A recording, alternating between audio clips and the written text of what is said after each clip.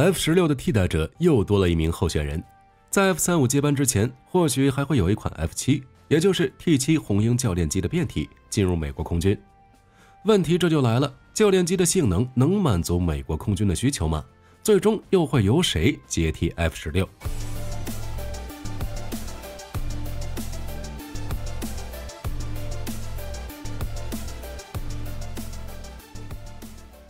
预计到本世纪四十年代中期，美国空军的 F 十六就会逐步退役。按照正常规划，F 十六退役产生的空缺就会由现在的 F 三五弥补。但是考虑到 F 三五的产能不仅要满足海外订单，还要接替海军的超级大黄蜂，美国空军想要无缝衔接几乎不太可能。于是空军就把目光转移到了 T 七红鹰教练机的身上。二零二三年十一月八日，美国空军第四百一十二测试联队公共事务部报道。波音公司生产的首架 T7A 成功抵达加利福尼亚州爱德华兹空军基地，并开始接受系统测试。而按照美国媒体《防务快讯》的报道，美国空军正考虑将波音的 T7 教练机改装为 F7 武装轻型攻击机，然后接替 F16。原因也很简单，第一就是在教练机的基础上改来的轻型战斗攻击机拥有着较高的性价比；第二，老式的 F16 一直没有合适的取代对象。这种较为便宜的轻型攻击机可以达到四代机的水平，这就有一个问题了：性能如何呢？美国空军之前讨论 F 十六接班人的时候，就提到了一个弥补 F 三五数量不足的补充方案，在四到五年内打造一款兼具成本效益和高效战斗能力的战机。T 七的变体 F 七就是很好的选择。高教机改装成战斗机，这个思路确实没什么问题，也有很多成功的例子。韩国的 T 五零高教机改装成 FA 五零，在没有适合的战机取代 F 十六的情况下，拿 T 七来过渡也是个不错的选择。虽然美国空军还没有与波音公司讨论开发 T 七的变体，但波音公司之前曾表示，T 七可以经过改装变身成为配备导弹和炸弹的 F 七。一支由 F 七组成的机队可以帮助美国空军维持其不断缩小的战机规模。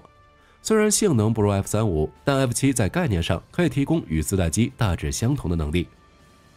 从性能上看，T 七也是可圈可点的。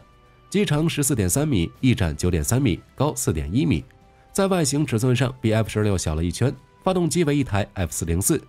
作为波音开发的教练机，T 七的气动布局与 F 十八类似，采用了双座单发边条翼加微型垂尾的设计。低速时的可操作能力不错，并且具备很强的高攻角飞行能力，飞行性能更接近现役战机。有意思的是，T7 可以与地面训练模拟器实时连接，创建一个以实代虚的训练编组。老飞行员空中带飞，新飞行员在地面模拟。同时，T7 还能模拟五代机完成演训的飞行员能够轻松上手 F22、F35，缩短中间的适应期，替代美军服役半个世纪的 T38，那就是轻轻松松。并且成本低廉，性价比很高。按照波音给出的消息来看，相比较传统战机，T7 的工程质量方面提高了百分之七十五，组装时间减少了百分之八十，软件开发时间减少了百分之五十。一款便宜还好用的飞机，美国空军自然感兴趣，已经订购了三百五十一架 T1，以及四十六架模拟器和相关地面设备，合同总价仅为九十二亿美元。另外，在海外市场，包括澳大利亚和塞尔维亚，也都盯上了这款高级教练机。波音公司未来的目标，全球至少销售大约两千七百架红鹰。不过，凡事都有但是。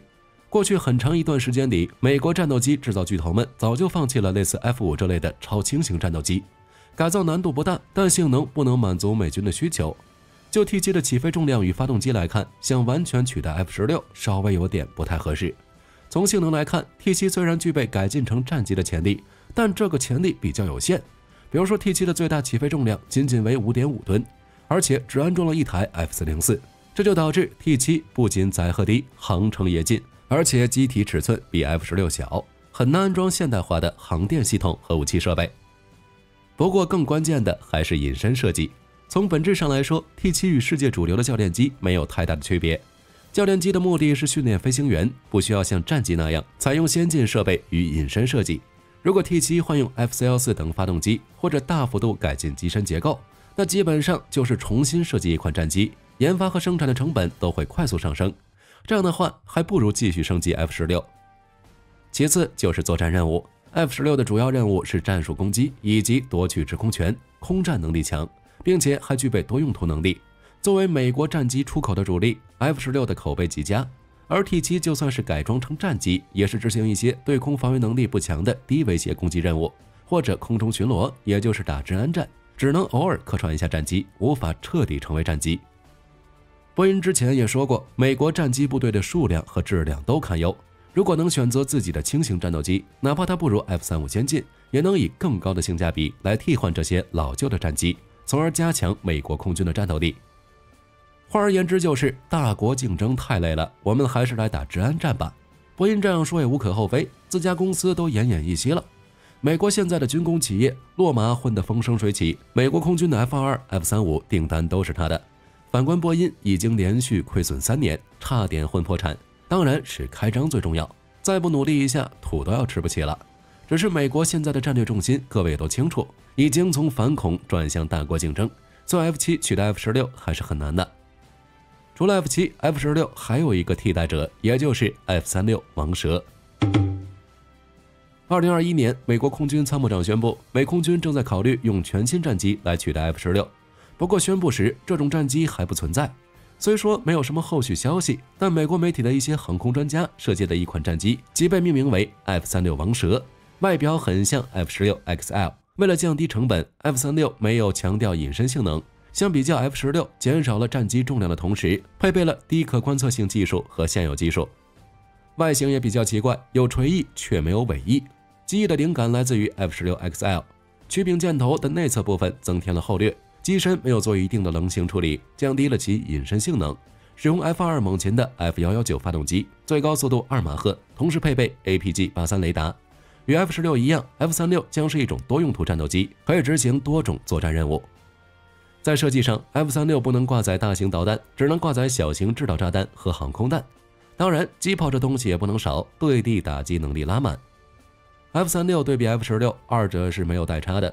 F 十六的生产流程稳定高效，价格也相对低廉。F 三六对比 F 三五，F 三六显然没有五代机的性能。从某种程度上来说，F 三六只适合执行简单的作战任务，也能配合高性能战机。不过就当前的情况来看，F 三六也没什么前途。其设计原则是简化，从人员组织、开发流程到整体设计，都要简化到一定的程度。其构型基础都来自现成的设计，或者从现有设计上稍作修改。最终目标就是凭借已有的技术理论积累，使其在不增加额外项目的情况下获得高水平的性能。如此一来，虽然会导致 F 三六的性能上限不高，但可以减少成本支出，加上美国的战机制造经验，研发周期可以大大缩短。不过需要注意的是，尽管 F 三六采取了大量的简化措施，但是原则上还是配备了最先进的航空电子设备，以确保战斗力。武器也是如此，机炮、导弹一个不缺。价格只是稍微便宜点而已，不过这都不是最重要的。最严重的问题是 F 三六项目本身，F 三六连制造公司都没有，美国空军也没有放出订购 F 三六的消息。拟议的 F 三六是自主研发，该项目不是由某家飞机制造公司提出，而是来自一群专业记者和相关领域专家。论可靠性而言，F 三六还不如 T 七。而且就当前的情况来说，项目要求彻底重建现有国防订单体系以及相关流程。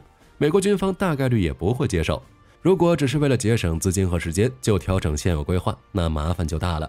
所以 F 三六替代 F 十六的可能性也不大。说到这儿，火力军就有一个问题：T 七与 F 三六的性能都没超过 F 十六，而一般情况下，更高级别的新战斗机来取代之前的老旧战斗机才是战机更新换代的王道。就算是俄罗斯，也是因为苏五七没有成熟，才采购苏三零、苏三五这种老飞机。而美国作为全世界实力最强的国家，在二零二三年居然想用一种与四代机类似的轻型战机替代 F 十六这种主力战机，这是为什么？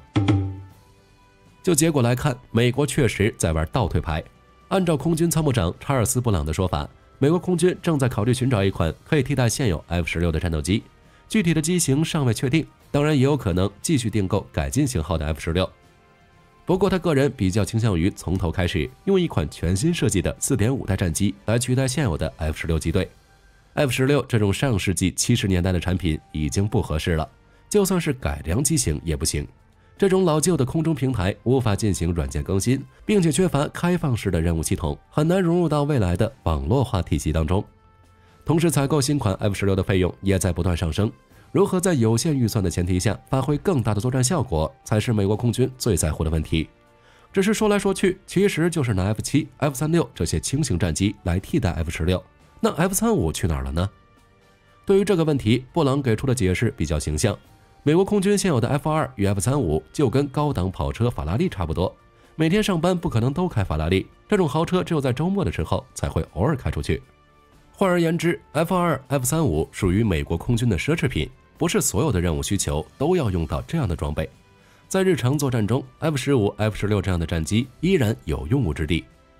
这个说法确实没错，隐身时代是不假，但是这个时代并不是所有的国家都掌握了类似的技术，在保持本国技术优势的同时，为日常作战考虑。除了这个原因之外，美国空军对于 F 三五近期的表现很不满意。F 三五因为自身缺陷以及生产速度滞后等原因，让原本替代 F 十六的计划一变再变。现在空军已经不想再等了，于是就抛出了这样一个过渡计划：建造一款 F 七、F 三六这样的新战机，来满足空军的日常需求。只是在空战强调隐身化、信息化的情况下，无论隐身设计、载荷和航程都较为有限的 T 七，还是一切都说不准的 F 三六，不太可能成为主力战机。至于平替，也稍微有点难。F 十五系列已经开始这个过程了，在已经购买并使用 F 十五 EX 的前提下，再去投资研发另一种战机，就算是家里有印钞机也顶不住呀。